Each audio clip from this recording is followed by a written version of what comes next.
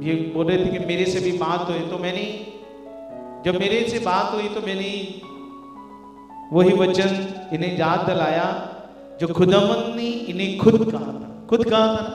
अब माइक को क्या कहा था परमेश्वर ने इस तरह पापा जी, मैं मेरे चार बजे का टाइम ही तो मैं अगे भी मतलब दसिया, मनप्रीत ने कि मैं ਇਸ ਤਰ੍ਹਾਂ ਮੇਰੀ ਜੌਬ ਕਰਨ ਦੀ ਬੜੀ ਚਾਹਤ ਹੀ ਸ਼ੁਰੂ ਤੋਂ ਹੀ ਤੇ ਇਸ ਤਰ੍ਹਾਂ ਮੈਂ ਜਿੱਥੇ ਵੀ ਮਤਲਬ ਅਹ, ਪਤਾ ਕਰਦੀ ਹਾਂ ਜੇ ਮੇਰੇ 10 ਦਿਨ ਲੱਗਦੇ ਜਾਂ 20 ਦਿਨ ਤੇ ਮੈਨੂੰ ਇਸ ਤਰ੍ਹਾਂ ਜਵਾਬ ਹੋ ਜਾਂਦਾ जवाब हो जाता है पर जवाब आने का कारण क्या था परमेश्वर ने क्या कहा था खुद आपको क्या कहा था ਹਾਂ ਤੇ ਉਹ ਮੈਂ ਹਨੇਰ 4 ਵਜੇ ਦਾ ਟਾਈਮ ਤੇ ਇਸ ਤਰ੍ਹਾਂ ਮੈਂ ਪਰਮੇਸ਼ਰ ਤੇ ਰੱਖਿਆ ਕਿ ਮੈਂ ਕਿਹਾ ਪ੍ਰਭੂ ਮੈਨੂੰ ਦੱਸ ਕਿ ਮੈਂ ਕਿਉਂ ਮੇਰੇ ਨਾਲ ਇਸ ਤਰ੍ਹਾਂ ਹੋ ਰਿਹਾ मेरे ਵਾ। नाल मेरी जॉब में जहां पर भी जाती हूँ मेरी जॉब क्यों छूट जाती है क्या मैं- कारण है मैं- आपने पूछा परमेश्वर से प्रार्थना की ਹਾਂਜੀ ਬਾਬਾ ਠੀਕ ਜੀ ਹੈ। ਤੇ ਮੈਂ ਕਿਹਾ ਮੇਰੀ ਤਾਂ ਕੋਈ ਗਲਤੀ ਵੀ ਨਹੀਂ ਹੁੰਦੀ ਮੈਨੂੰ ਇਸ ਤਰ੍ਹਾਂ ਜਵਾਬ ਹੋ ਜਾਂਦਾ ਵਾ। मेरी कोई गलती भी नहीं फिर भी मुझे जवाब दे देते हैं हाँ? ਤੇ ਇਸ ਤਰ੍ਹਾਂ ਇੱਕਦਮ ਐ ਚਿੱਟਾ ਹੋ ਗਿਆ ਬਹੁਤ ਆਕਾਸ਼ ਵਿੱਚ ਬਹੁਤ ਜ਼ਿਆਦਾ ਚਿੱਟਾ ਤੇ ਉਸ ਵਿੱਚ ਮੈਨੂੰ ਆਵਾਜ਼ ਆਈ ਕਿ ਜੋ ਤੇਰੀ ਸੇਵਾ ਵਾ ਉਹੋ ਹੀ ਤੂੰ ਕਰਦੀ ਤੂੰ ਕੰਮ ਨਹੀਂ ਕਰ ਸਕਦੀ देख लो भाई जो तेरी खुद परमेश्वर ने आवाज दी कि जो तेरी सेवा है वो कर पर जब खुदावन की बात को मानते हैं तो रास्ते खुलते हैं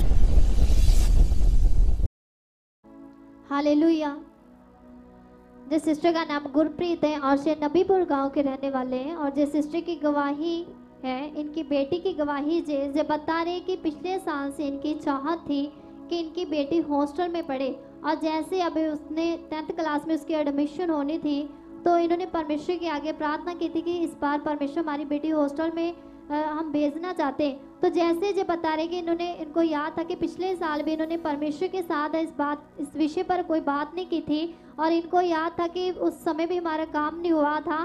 और इस इस साल हम परमेश्वर के दास के साथ बात करेंगे। और जैसे इन्होंने बताया कि कुछ दिन पहले उन्होंने परमेश्वर के दास के साथ जब मीटिंग की तो उन्होंने बताया कि हम अपनी बेटी को हॉस्टल में पढ़ाना चाहते हैं। तो जैसे ही परमेश्वर के दास ने पूछा कि आप क्यों भेजना चाहते तो इन्होंने बताया कि जो हमारे गाँव में स्कूल है, हमारे घर से काफ़ी दूरी पर है और ना ही तो वहाँ पर कोई कन्वेंस भी नहीं जाता, जिसके कारण काफ़ी परेशानी है। तो हम चाहते हैं कि हमारी बेटी हॉस्टल में पढ़े और परमेश्वर के दास ने इनको वचन दिया कि परमेश्वर तो सब कर सकते हैं, विश्वास करें, धन्यवाद करें, आपकी बेटी हॉस्टल में पढ़ेगी।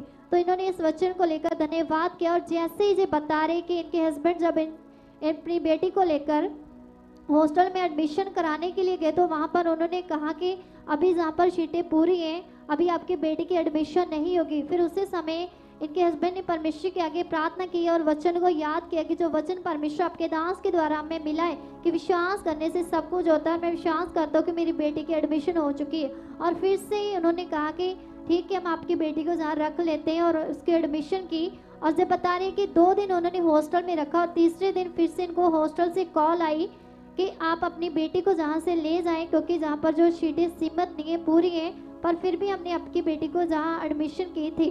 तो जी, फिर काफ़ी परेशान हो गए। फिर इन्होंने प्रेयर टावर में कॉल की और जैसे इनकी बात टीम के साथ हुई तो टीम ने भी इनको उत्साहित किया कि जो जो परमेश्वर ने जो काम किया था तो आप धन्यवाद करें, जो परमेश्वर सब कर सकते हैं। और जैसे इनको, इन्होंने परमेश्वर के आगे प्रार्थना की और इन्होंने कहा कि हमारी बात परमेश्वर के दास के साथ करवाई जाए और जैसे फिर परमेश्वर के दास ने भी इनके साथ बात हुई तो इनको परमेश्वर के दास ने कहा कि जो वचन परमेश्वर ने आपको दिया था, आप उस वचन को पूरा करें तो परमेश्वर कर सकते हैं। क्योंकि जो वचन था, इन्होंने बताया था परमेश्वर के दास को।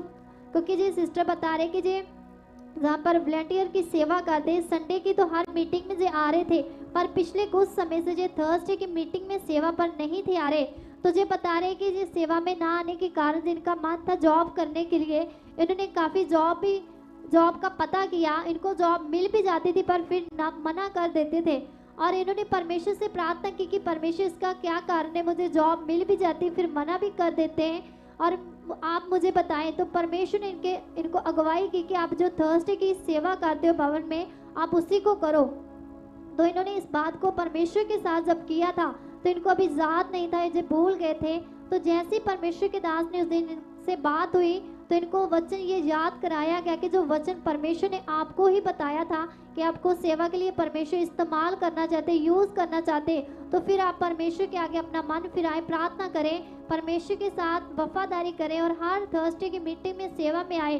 तो जैसे इनको याद कराया गया इस वचन को तो इन्होंने उस अनुसार प्रार्थना की और परमेश्वर से मांगा कि परमेश्वर मैं हर थर्सडे की मीटिंग में सेवा में भी जाऊँगी। तो जो बता रहे कि शाम को इन, इनको हॉस्टल से कॉल आई कि अभी आपकी बेटी इस हॉस्टल में ही पढ़ेगी और आप इसको लेकर नहीं जाएँगे और इन्होंने दिल से प्रभु का धन्यवाद किया कि सच में परमेश्वर जो वचन आप हमें देते हो परमेश्वर उसको पूरा करते हो। उन्होंने धन्यवाद किया कि अगर मुझे परमेश्वर के दास उस वचन को याद ना कराते तो फिर से हमारी बेटी इस साल भी शायद हॉस्टल में ना पढ़ती, पर इन्होंने धन्यवाद किया कि आज परमेश्वर ने इनके जीवन में अपनी महिमा को प्रकट किया है। उस गवाही के लिए तारीफ़ करते हैं, हम सब अपने हाथों को उठाते हुए, हिलाते हुए परमेश्वर का इस गवाही के लिए धन्यवाद करेंगे, क्योंकि सच में कलीसिया वो परमेश्वर जिसके आगे हम प्रार्थना करते जैसे भजन संहिता में भी लिखा है कि यहोवा को अपने सुख का मूल जान, वो तेरे मनोरथों को पूरा करेगा। जैसे इन्होंने परमेश्वर के आगे इनकी चाहत थी और जो वचन परमेश्वर ने अपने दास को अगुवाई की, उनको याद कराया तो सच में परमेश्वर ने आज इनकी उस चाहत को, उस मनोरथ को पूरा किया और आज परमेश्वर ने इनकी बेटी को हॉस्टल में जो इनकी चाहत थी, वो पढ़ रही है। आज कोई प्रॉब्लम नहीं, आज पंद्रह दिन हो गए कि वो हॉस्टल में और से बहुत ही खुश है और इस गवाही के लिए हम सब अपने हाथों को उठाते ज़ोर से तारीफ़ करेंगे। माइक माइक देना है माइक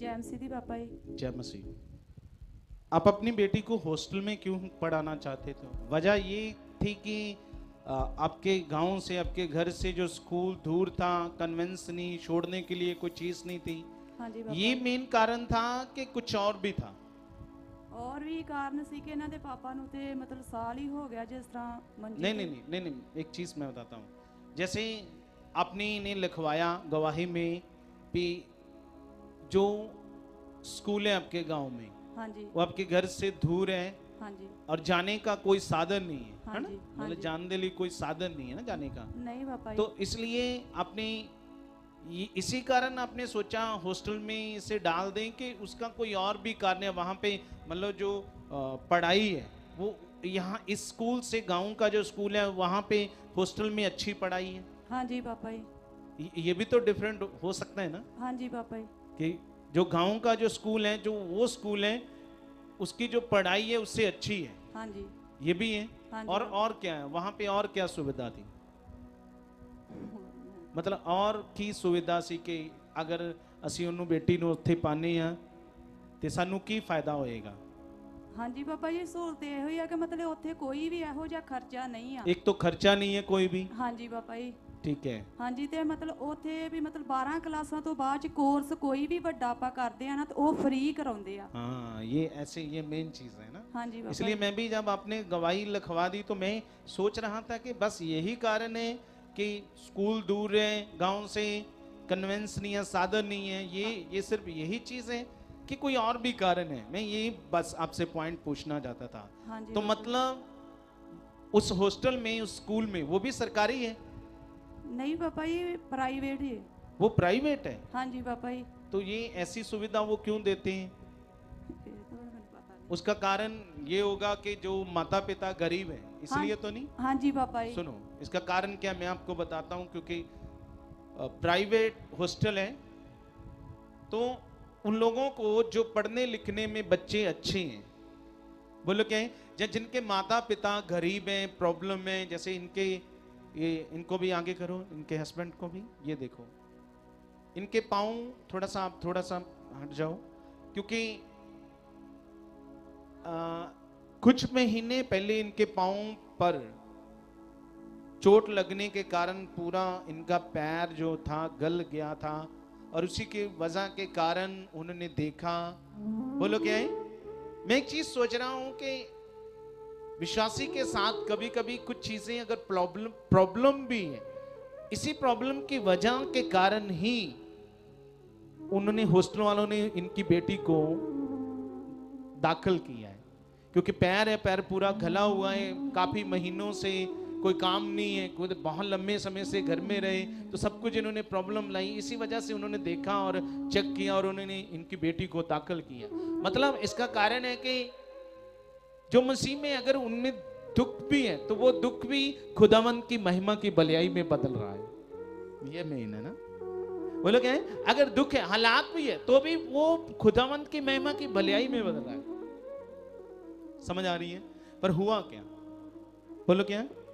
जब इस बात को उन्होंने देखकर तो इन्हें दाखिल तो कर लिया बेटी को। बोलो, दाखिल? बेटी को दाखिल तो कर लिया।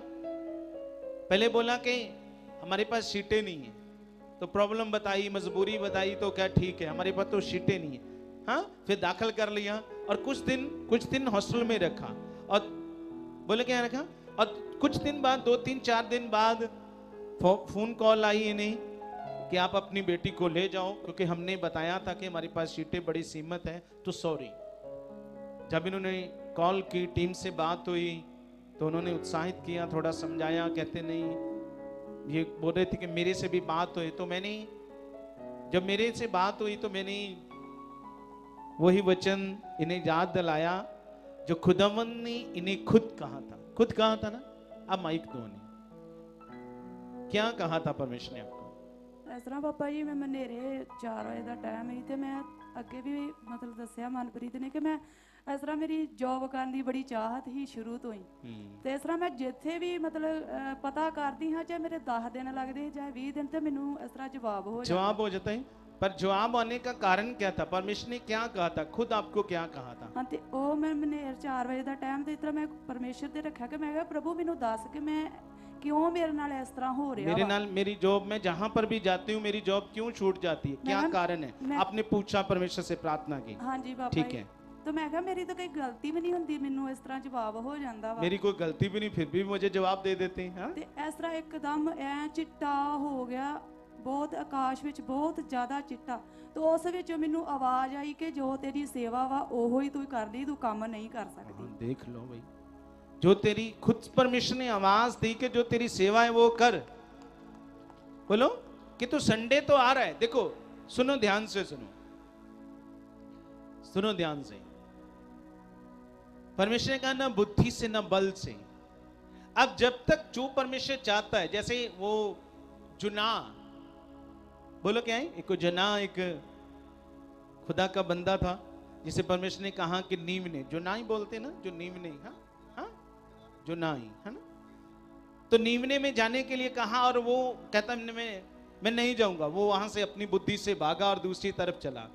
और और मुसीबत, बोलो क्या आ गई? बोलो क्या आ गई और मुसीबत आ गई और मुसीबत। बोलो क्या आ गई क्योंकि कई बार हम जब अपनी बुद्धि से कुछ करना चाहते हैं, अपने बल से तो और मुसीबत को झेलते हैं। पर जब खुदावन की बात को मानते हैं तो रास्ते खुलते हैं। बोलो, रास्ते? रास्ते खुलते हैं, रास्ते खुलते हैं। क्योंकि हम परमेश्वर से ज़्यादा ना धर्मी है, ना सियाने अगर हम चाहते हैं खुदा से तो खुदावन की बात को मानना पड़ेगा, पूरा करना पड़ेगा।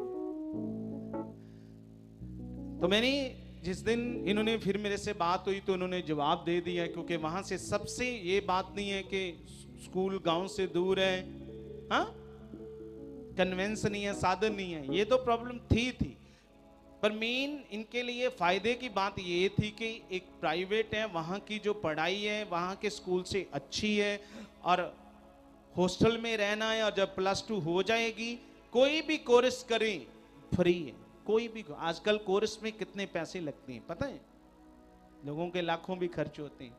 आजकल कोई भी कोर्स करना है तो लाखों भी लगते हैं। अब ये सबसे बड़ी सुविधा है कि कोई भी कोर्स करे, साल का करे, दो साल का, तीन का, जब तक करे, वहीं पे रहना है। खाना, पीना, सब कुछ फ्री बोलो क्या कोई फ़ीस नहीं, कोई कुछ नहीं। जो भी कोर्स उसका मन है, दिल है करने का वो वो करवाएँगे। और जब तक उसे जॉब नहीं मिल जाती, तब तक वो उसी स्कूल में रखेंगे और अगर वो कोर्स कंप्लीट हो गया तो दूसरा कराते जाएँगे। जब तक उसे जॉब नहीं, तब तक उस स्कूल से वो छुट्टी नहीं देंगे। देख लो भाई। हाँ? जब तक उसे जॉब नहीं मिलेगी, जब तक वो नौकरी नहीं मिलेगी, उसका कोर्स हो भी गया, अगर उसे नौकरी आगे नहीं मिल रही उस कोर्स की तो तब तक वो स्कूल में रखेंगे, तब तक कुछ और कुछ कराते रहेंगे। पर वो घर नहीं भेजेंगे। कितनी बड़ी ये सुविधा है। पर ये इतनी बड़ी सुविधा, कल को कोई वो बच्ची बड़ा कोर्स करके बड़ी जॉब पर लगती है, लाखों कमाती है तो इनका जो जो भी ये काम कर रहे हैं, जो भी ये खुद अपना आठ दस हज़ार कोई काम करते जा कोई भी करके प्राइवेट काम, बोलोगे? कोई सात हज़ार मिलता, कोई आठ देता, कोई और कुछ ऐसे होता तो है ना? तो वो सारे उसमें परमेश्वर क्या कर देगा? इंक्लूड कर देगा। वो व्यास मूल समेत सालों की बरकत, सालों के जो इनके, जो जो खुद ये करना चाहते इकट्ठा, वो सालों के डबल ट्रिपल फोर्थ करके देगा। ये है परमेश्वर की इच्छा। ये है खुद अमन का प्लान उसकी योजना। जिसे हमें समझना और उसमें चलना है और उसे पूरा करना है। बोलो, क्या करना है? क्योंकि कई बार क्या होता है, सुनो, जब प्रॉब्लम होती है, पैसे नहीं, घर का खर्चा प्रॉब्लम नहीं हो रहा, बड़ी दिक्कत है हाँ पति तो कर रहे हैं, एक तो चोट लगने के कारण पहले ही कई महीने घर में रहे तो बंदा तो दो दिन ना काम जाए तो उसकी हालत क्या हो जाती? या महीनों से घर में बैठे, ऊपर से अलाज का खर्चा, कई कुछ है। अब और सोचे कि मैं कुछ हेल्प नहीं करूँगी तो क्या हूँ? पर परमेश्वर, जो आपका हेल्पर है, बोलो क्या है? जो आपका हेल्पर है, आपकी सोच से वो कई गुना ज़्यादा करता है। बोलो क्या करता है? आपकी सोच से वो कई गुना ज़्यादा करता है। पर कब करता है? जब हम परमेश्वर की योजनाओं को समझते हैं। जब तक हम परमेश्वर की योजनाओं को नहीं समझेंगे, उन पर नहीं चलेंगे तो कुछ नहीं होगा। हम टाइम खराब करेंगे। बोलो, क्या करेंगे? अपना टाइम खराब करेंगे। पर धन्यवाद है उस खुदाबंद का। इन्होंने आगे अपनी बुद्धि नहीं लगाई। जब काम नहीं बना तो मैंने फिर से वही वचन याद कराया, जो खुद परमेश्वर ने दर्शन के द्वारा, इन्हें खुद कहा था। क्योंकि जो जॉब करते थे, जो भी जॉब पे लगते थे, वो छूट जाती थी। दो दिन गए, चार दिन गए, पाँच दिन गए, जवाब मिल जाता था। दो चार दिन में। बोले, क्या मिल जाता था अब जो खुदा ने दर्शन खुद दिया था कि मेरी सेवा कर। संडे तो आ रहे, तूने वीरवार भी आना, वीरवार भी, क्योंकि ये वॉलेंटियर की सेवा करते हैं। अब देखो, जब हम परमेश्वर की इच्छा को समझते हैं और उसके वचन को पूरा करते हैं तो खुदावन कई रस्ते खोलता है। ठीक है? बस अच्छे मन से जो खुदा ने वचन दिया, बोले क्या उसे दिल से खुशी से करते रहना। खुदावन इतना ऊँचा करेगा, जहाँ पे भी आप रहते हो, जिस गाँव में, जिस गली में, मोहल्ले में, आप सबसे ऊँचे होंगे। खुदावन करके दिखाएगा, क्योंकि वो सर्वशक्तिमान है। मैंने कहा, वो करके दिखाएगा। आपकी हर एक घटी को वो पूरा करके दिखाएगा। तारीफ़ करो ज़ोर से ज़ोर से अपने हाथों को।